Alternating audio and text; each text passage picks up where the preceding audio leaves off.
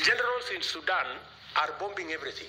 They are bombing roads, they are bombing uh, bridges, they are bombing hospitals, they are destroying airports, using military hardware bought by African money. Just imagine.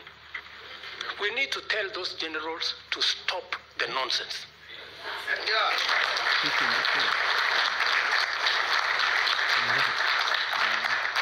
Military capacity is for fighting criminals and terrorists. It is not for fighting children and women and destroying our own infrastructure.